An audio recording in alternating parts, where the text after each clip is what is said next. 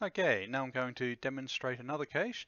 This, this next one is called subdivided. This is a little unusual in that the order of the lettering is a bit strange. So we'll begin, just as before, by copying the instructions to the clipboard.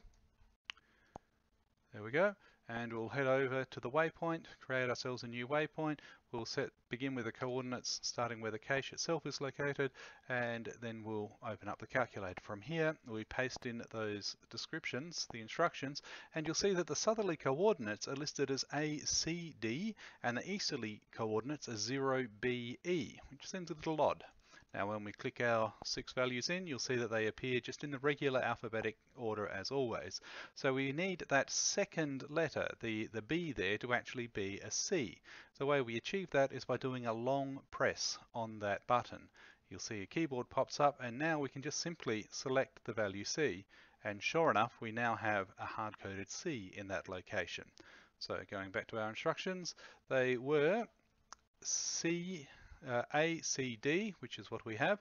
Now we want 0, B, E.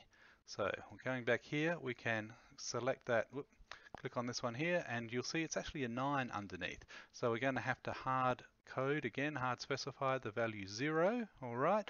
Then the next letter, if you recall, was in fact a B, so we're going to have to manually select a B, and then the last one, as you can see, is indeed an E. So we'll specify, manually specify the letter E.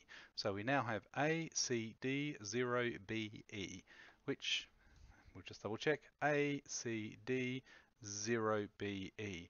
One last thing that's easy to miss on this cache is that the coordinates are actually 138 and then it's 34. We're actually very close. You can see it starts with a zero and so the decoded coordinates have just slipped over one minute to, from where they were, you know, from where you begin. So we're actually going to hard specify this value here, specifically specified as being a 4. Now that, that format should be exactly the same as what's, what's specified down here.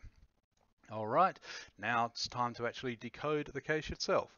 So fortunately I have a photo of the plaque. Here it is. And the first part, number A, it is asking how many words are on the top line of this plaque. Well, that looks like five to me. So sure enough, punch in that number five. How many lines are on the plaque in total? I believe it was nine. Uh, one, two, three, four, five, six, seven, eight, nine. It is. That's for the value B is a nine. There we go. C, what is the third digit of the year that the plaque was opened? Well, it was opened in 1975. Third digit is a 7. Uh, what is the second letter of the Prime Minister of Australia's surname and what is its corresponding number? Well, it's referring here to Whitlam, Gough Whitlam, second letter being an H and H is the eighth letter of the alphabet. Was that for, just double check what letter that was, that was for D. H being number 8. And finally, for part E, what we need is how many letters are in the third word on the eighth line. That'll be 1, 2, 3, the land here, which is a four-letter word. There we go.